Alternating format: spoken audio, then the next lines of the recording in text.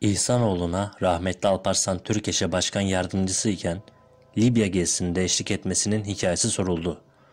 İhsanoğlu'nun cevabında ise rahmetli Alparslan Türkeş'in devlet adamlığı konusunda verdiği önemli bir ders var.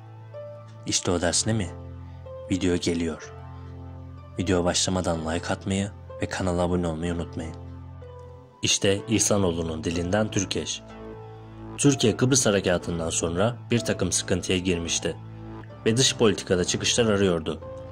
Libya lideri Kaddafi, Türkiye'nin lehine güçlü bir tavır sergilemiş ve iki ülke açısından güzel bir noktaya gelinmişti. Süleyman Demirel hükümetinde Sayın Türkeş, Başbakan Yardımcısı, Sayın Çağlayangil de Dışişleri Bakanıydı. Ve hükümetin tasvibi ile Sayın Türkeş'in Libya'ya gitmesi kararlaştırıldı. Dışişleri Bakanlığı benim Sayın Türkeş'e danışman olarak gitmeme, aynı zamanda da Arapça bildiğim için onun temaslarını kolaylaştırmak için tercümanlığını yapmama karar verdi. Ben o zamanlar Ankara Fen Fakültesi'nde asistandım. Ama dışişleri ile yakın ilişkilerim vardı. Libya'nın Ankara'da Türk asıllı bir sefiri vardı. Rahmetli Ecevit'in de akrabasıydı.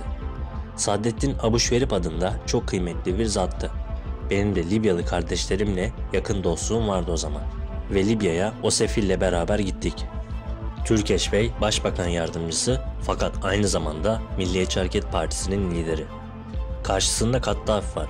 Kaddafi'nin pozisyonu çok tuhaf. Devlet reisi ünvanı yok. Fakat devlet reisinden daha üstün. Kendine göre bir sistem kurmuş. Her şey tek elde. Ve kendisi sorumsuz bir pozisyonda. Her şeyi yapma imkanı var. Tabi ben ikili görüşmelerin muhtevası hakkında bir şey söylemem. Türkeş Parti liderliği ile Başbakan Yardımcılığı makamını ayırt etti. Sadece şunu belirteceğim. Görüşmenin sonunda ortak deklarasyon yayınlanacak. Libya tarafı orada kendi dış politik anlayışlarını aksettiren pozisyonlar ifade ettiler ki bu Türkiye'nin resmi pozisyonuna aykırıydı. Türkeş Bey dedi ki ben bunu kabul etmem. Gittiler geldiler dediler ki efendim olmazsa olmaz. O da dedi ki olmazsa olmasın ben burada başbakan yardımcısı olarak bulunuyorum. Parti lideri olarak gelmedim. Türkeş Bey iki sıfatı beraber taşıyan bir adamdı. Devletin temsilcisi vasfını öne alıp siyasi tarafını, liderlik tarafını geri plana itti. Çünkü devlet her şeyin üstündedir. Milli menfaatler devletin dış politikasının tutarlılığı her şeyin üstündedir. Orada ben bir parti adına geldim. Parti mülahazı ile bazı şeyleri gerçekleştireyim ve bu resmi pozisyonumu parti için kullanayım şeklinde bir noktayı elinin tersiyle itti ve çok net bir şekilde Türkiye'nin resmi pozisyonunu deklare etti. Genç bir öğretim üyesi olarak benim açımdan çok büyük bir dersti.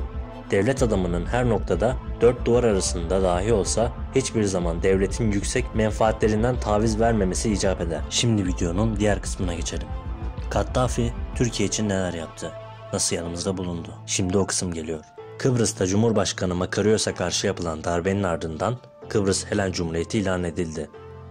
Bu gelişme üzerine Kıbrıs'taki bunalım daha artınca Türkiye 1960 yılında imzalanan anlaşmadan doğan garantörlük hakkıyla 1974'te Kıbrıs'a askeri müdahalede bulundu. Kıbrıs'a yapılan ikinci harekatın ardından ise dünya kamuoyunda Türkiye'ye karşı bir hava oluştu. Bu harekatın bir işgal girişimi olduğunu ileri süren İngiltere, Amerika Birleşik Devletleri gibi büyük devletler Türkiye'ye karşı bir tavır takındılar. Amerika Birleşik Devletleri Kongresi 1975'te Türkiye'ye silah ambargosu uygulanacağını söyledi. Kıbrıs Barış Harekatı'nın yapıldığı dönemde ve ilerleyen yıllarda Türkiye'yi dış ilişkilerde izole edilmeye çalışıldı ve Türk dış politikasında yeni bir devir başladı. İşte böyle bir dönemde Libya lideri Muammer Kaddafi, Türkiye ile ilişkilerini sıkılaştırmak ve geliştirme politikasının bir sonucu olarak Kıbrıs Barış Harekatı sonrasında Amerika Birleşik Devletleri'nin ambargodan sonra elindeki Amerikan silahları ve uçak yakıtı rezervlerini Türkiye'nin kullanımına sundu. Konuyla ilgili olarak Libya devleti ve halkın desteğini iletmek üzere 2 Ocak 1975'te Türkiye'ye gelen Libya Başkanı Kallut yaptığı açıklamada bizim Libya Devrimi Konseyi olarak Libya halkı olarak şu veya bu nedenle kopan tarih bağlantılarının tekrar birleştirilmesi hususunda ısrarlarımız vardır. İki ülke arasında köprülerin onarılması için de her türlü gayreti göstermeye hazırız. Bu hususta kapıları tamamıyla açık tutuyoruz. Arap milletleri ile Türk milletinin bir araya gelmesi büyük bir olaydır dedi.